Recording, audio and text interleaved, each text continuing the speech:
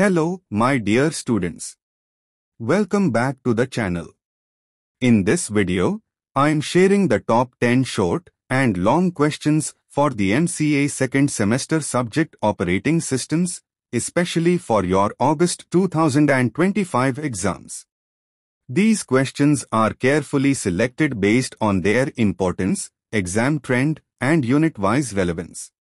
They are arranged in priority order to help you focus on what truly matters during your revision.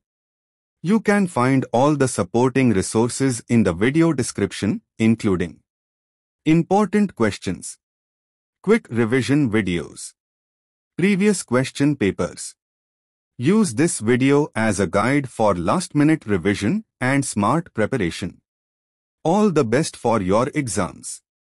If you find this video helpful, don't forget to like, share and subscribe and do pass it on to your friends preparing for operating systems.